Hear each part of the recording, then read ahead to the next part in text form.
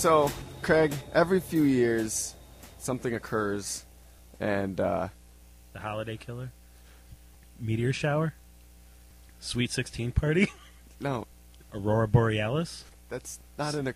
That's a the Super Bowl, no, no. mid-season fall TV lineup, Again, every year, Groundhogs, groundhogs. They just happen. Groundhog's Day. For the love of God, just tell me. How the hell do I follow that? Damn, you just killed it. All the build-up. People are just gonna be like, "Oh, all right." Every couple of years, something happens, and I inevitably get excited about this. Menstruation. So, against my better judgment, the 14-year-old inside of me gets excited. I don't Dude. think we want to know about this.